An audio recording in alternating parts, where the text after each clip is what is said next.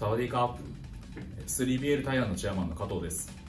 2022年10月いよいよ 3x3 プロバスケットボールリーグ 3BL タイランドが開幕します。このリーグは FIBA に公認されたタイで唯一の 3x3 のプロリーグです。今月6月下旬に 3BL に参加する選手を選考するトライアウトを開催いたします。現在トライアウトの参加者を募集しています。